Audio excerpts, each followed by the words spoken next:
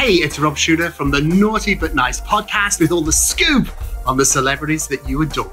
Scandal and vice, or sugar and spice. It's naughty but nice with Rob. Kelly Clarkson loves Ariana Grande on The Voice. Kelly Clarkson said she was delighted to work with Ariana, who joins the upcoming season 21 of The Voice as a coach. Agreeing with TV host Jimmy Fallon that all the coaches, including John Legend, Blake, Ariana, and Kelly herself, are all gelling together. Kelly gushed about everything being so good. She added, quote, I love her.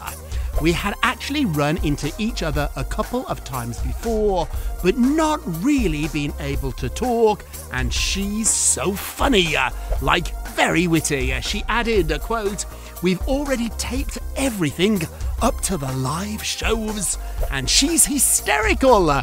Clarkson concluded, quote, We've never had a coach like her. I've been there for eight seasons, but in all my seasons, I've never heard a coach talk about vocal health as much.